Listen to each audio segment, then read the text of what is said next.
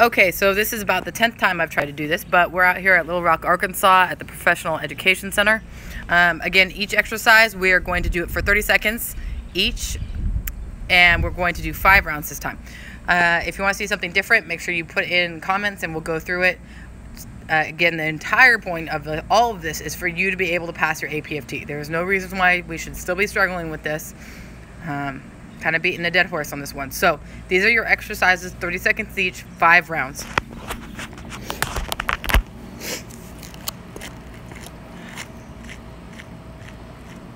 All right, wall sit, 30 seconds. And we're going to do a wall plank. We've done this before at RSP. Wall plank, 30 seconds. Next one is to be a squat jump. You're to squat down in front of the wall, squatting down in front of the wall, and jumping up. All right. So your goal is to jump higher and higher. Last one that we're going to have is going to be a, a mountain climber, but a mountain climber with the wall. All right.